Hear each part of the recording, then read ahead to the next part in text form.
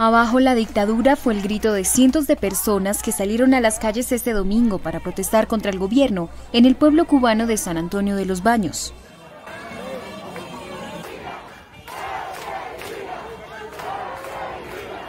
La inédita manifestación a la que a esta hora se sigue sumando gente fue retransmitida en directo por usuarios de Facebook.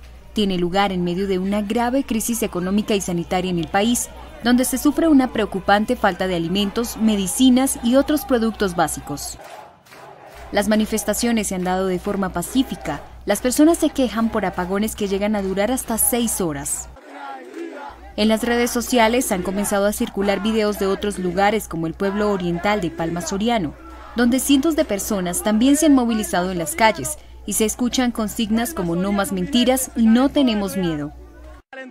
Esta es la protesta antigubernamental más grande que se registra en la isla desde el llamado Maleconazo, cuando en agosto de 1994, en pleno periodo especial, cientos de personas salieron a las calles de La Habana y no se retiraron hasta que llegó el entonces líder cubano Fidel Castro.